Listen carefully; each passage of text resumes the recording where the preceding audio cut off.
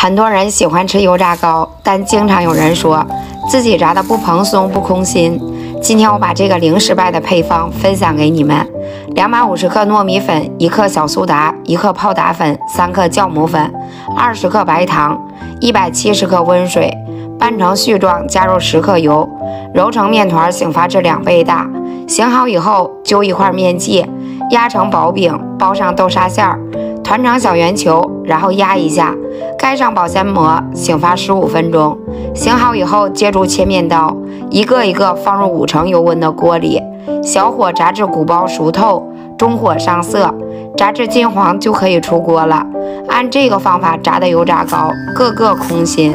掰开一个看看，外皮酥脆，内里软糯香甜，真的是特别好吃。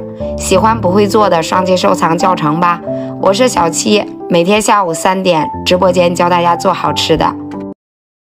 抖音。